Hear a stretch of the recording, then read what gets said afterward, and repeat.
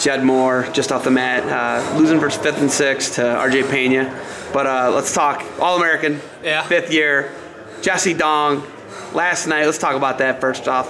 Um, have you ever beaten Jesse? No, I'm actually uh, I'm like I was 0 and 5 going into the this tournament. I most recently lost to the ACC finals um, two weeks ago. Um, so we've kind of I've kind of had a big monkey on my back as far as that goes. You know, always wrestling him, always looking forward to wrestling him, but just never getting that win. Um, and it was nice to I guess finally get over that. On top of that, um, you know, claim the All-American status. So that was a just a weight lift off my shoulders and just to get both of those at once was huge for me. Um, did you guys wrestle? You went to Marion Pleasant. He went to Westerville North, not too far apart. Did you guys ever wrestle in high school? We never wrestled uh, competitively in high school um, in a match, but we had worked out worked out before. Um, you know, like Ohio State, Westerville North at his school um, high school. So I had a good relationship with him before. He's a good guy, and uh, we kind of always known each other's style, always you know known of each other, and so. Uh, but yeah, I mean, through college, I always kind of had that holding over me, so to get it when it counted was great feeling. Having the double monkey off your back, you know, with, with beating him and that being your All American round of 12 match, what's the feeling like?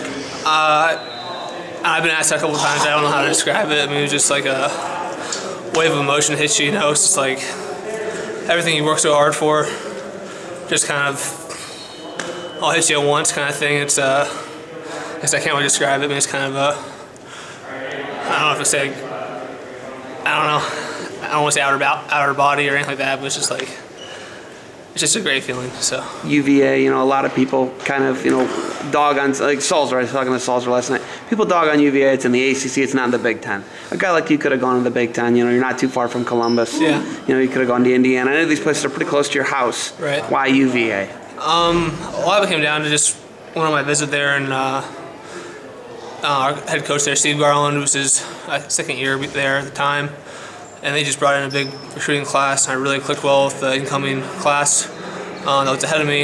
Um, I like the idea of building towards something.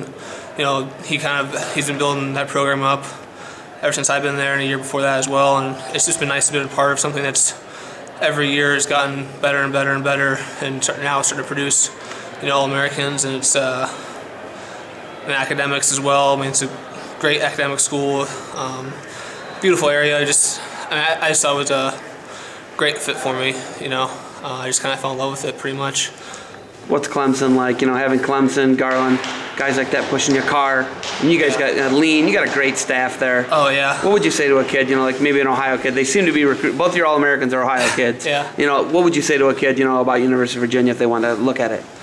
Um, definitely come check it out. I mean, like I said, I mean, the addition of Nate Carr in there in the room has huge.